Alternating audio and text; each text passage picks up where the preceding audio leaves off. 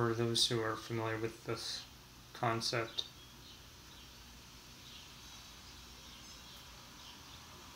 There's nothing I'm needing to explain about it, and for those who are not, uh, you can learn about that from reading the Perelandra Garden Workbook by Machaelle Small Wright, or you can get some idea about it from The Elves of Lily Hill Farm by Penny Kelly. And um, here we're going to have a more general focus, so Machaelle Small Wright's uh, Soilless Garden Manual or Companion, Soilless Garden Companion is also um, relevant. But I'm going to assume that you can do your own reading on that separate from uh, this video and separate from learning something about the use of the self or independently from it's not separate really good and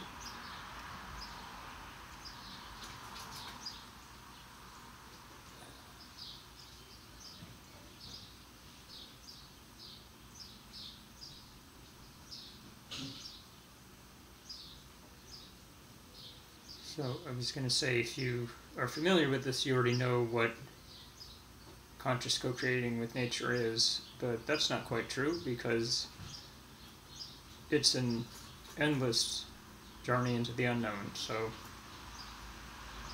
but you've had experiences that went beyond what you had known previously.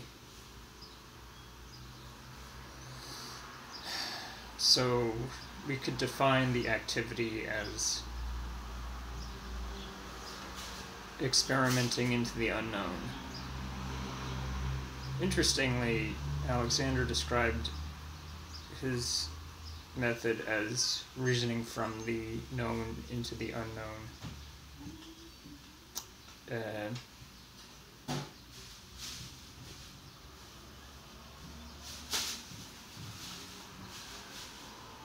and co-creating with nature's intelligence could be termed as listening to something that knows more than oneself.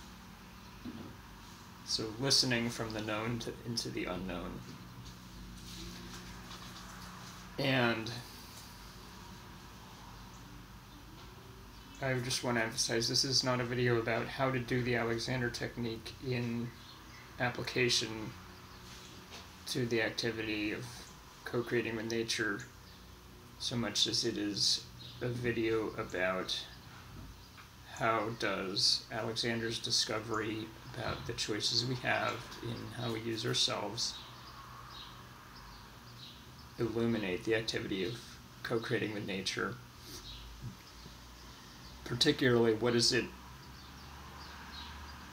reveal as blind spots as assumptions that we might have been putting in the way of the full, true conscious co-creating of nature's intelligence. In other words, if I'm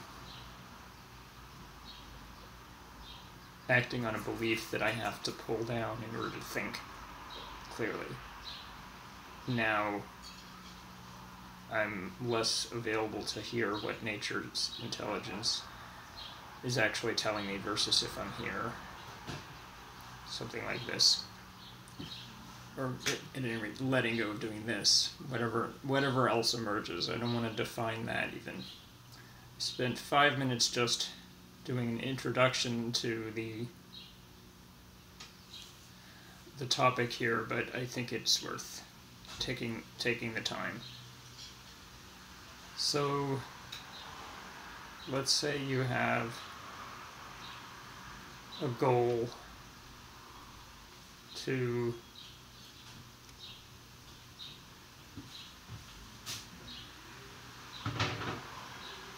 start a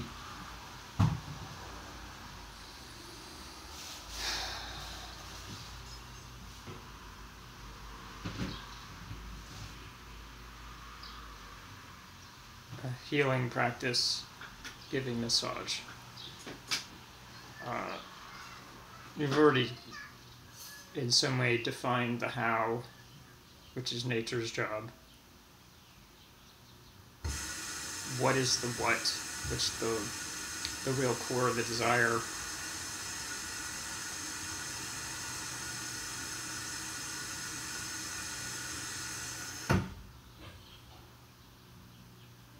I want to be of service. I want to be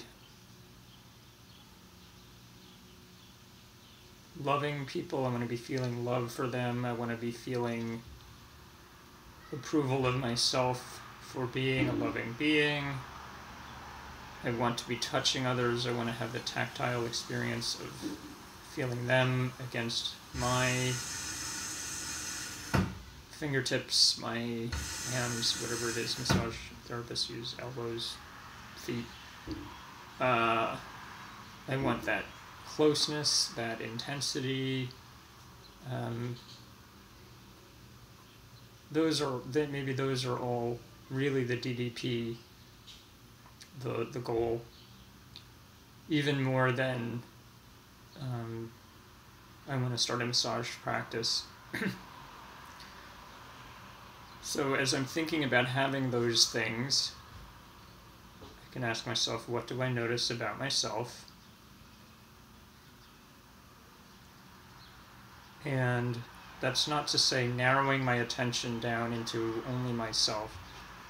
It is to say not narrowing my attention into only the external world. So I might notice I'm holding a little in my right shoulder, for example.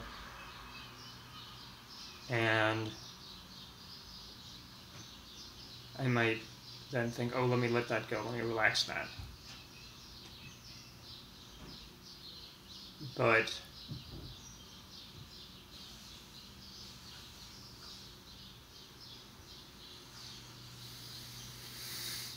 but if I relax that based on my own kinesthetic sense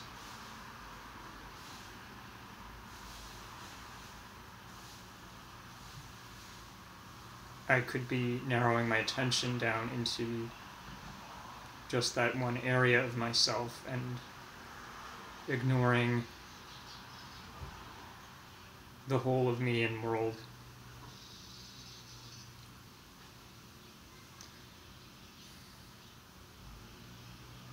If instead I simply allow that awareness to inform what I do next,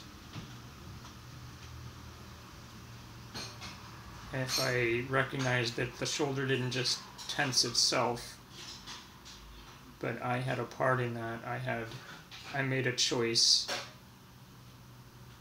that